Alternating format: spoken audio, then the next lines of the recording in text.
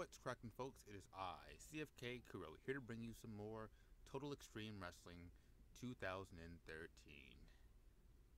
So, uh, where we last left off, Roman Reigns did a swerve.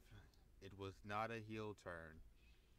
Uh, I feel like Roman's in a much better spot as a tweener, at least currently, at least in this point.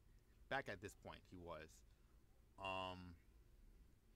Because WWE don't want to give up on him as a face. If they don't want to give up on him as a face, you don't turn him heel. You just make him.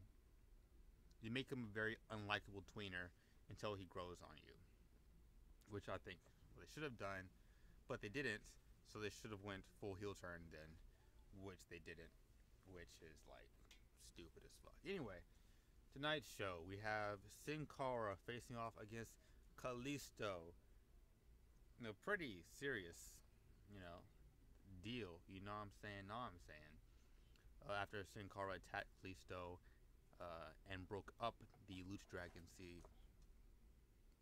My dog better not start playing with that.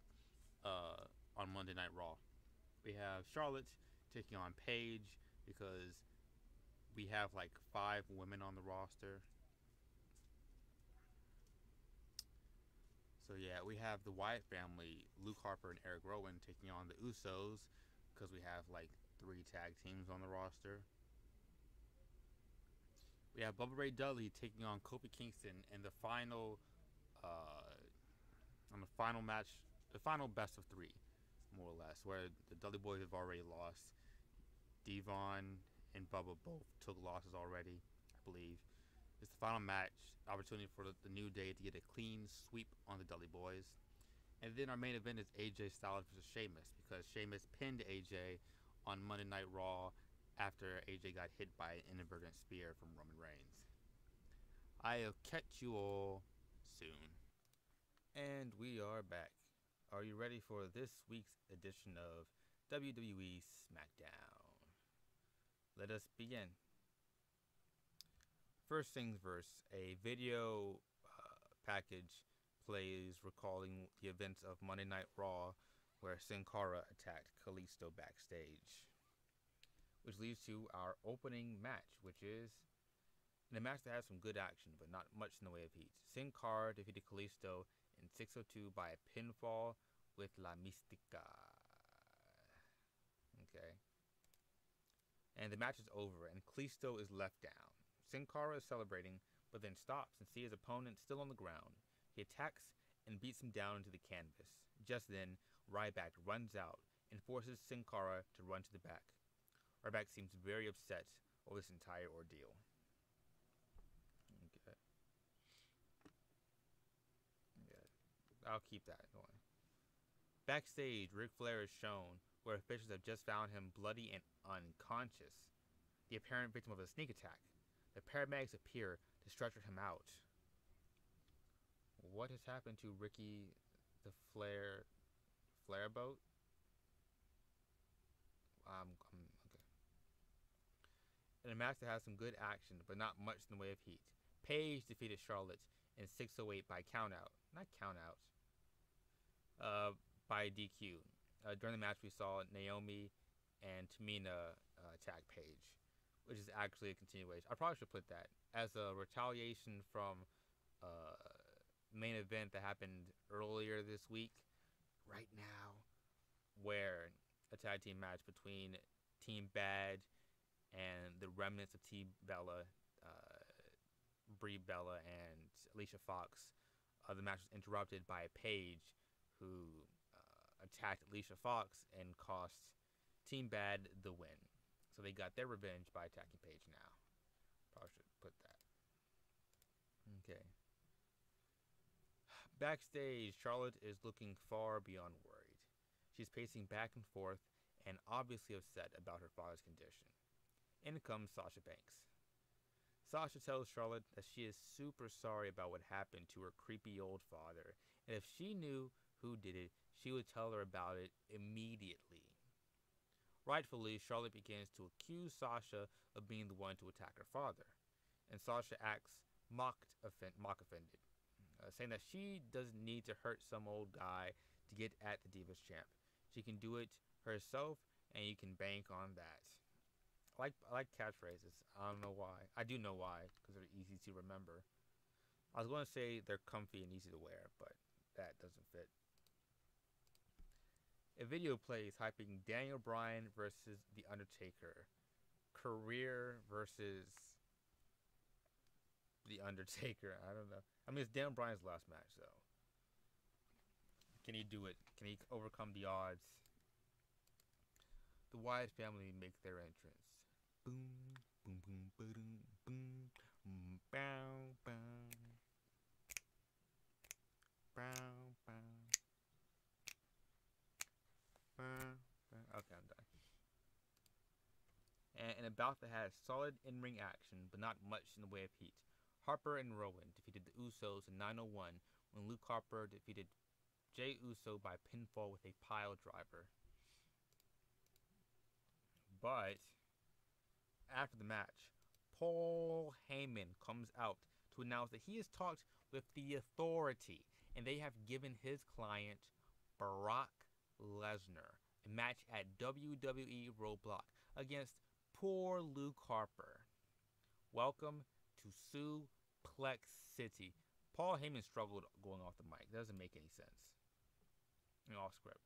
There's not even a script to go off of. Okay. The League of Nations have another backstage meeting. Del Rio is still furioso about his loss on Monday against Kurt Angle, which Barrett refuses to apologize for. While Sheamus is all giddy about pinning AJ in his rematch tonight, where he is confident about a second pinfall victory over him. Rusev is just saying verbs that sound menacing in Bulgarian, and Lana is hot. Chris Jericho comes backstage and notices them acting a fool and asks what the ass clowns are doing. To which Barrett asks if he wants to join the League of Nations, being Canadian all. He says that Canada sucks and the League of Nations are a bunch of stupid idiots before he walks off. Rusev gets mel gets mel gets mad and yells more verbs.